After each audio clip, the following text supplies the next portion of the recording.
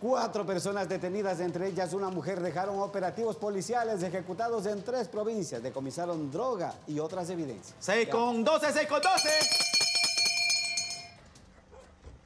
Un sujeto fue detenido en Santo Domingo de los Áchilas en posesión de 25 bloques grandes de droga que estaban escondidos en dos inmuebles que fueron allanados por agentes de la unidad que busca armas, municiones y explosivos, UNIDAE, con respaldo de efectivos del GOE y en coordinación con la Fiscalía. El sospechoso sería parte de una peligrosa organización criminal que opera en Santo Domingo de los Áchilas y zonas aledañas, donde hacen base de operaciones varias bandas narcodelictivas.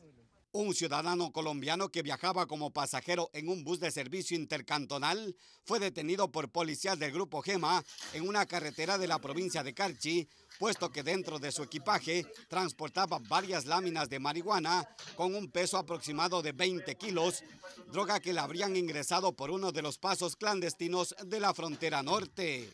En el sector del Fortín, noroeste de Guayaquil, fue detenida una pareja acusada de extorsionar a un comerciante de la zona, a quien mediante llamadas y mensajes le exigían el pago de 3 mil dólares para no atentar contra su vida y la de sus familiares. El afectado presentó la denuncia correspondiente, lo que permitió a la UNACE ejecutar un operativo y capturar a los dos involucrados.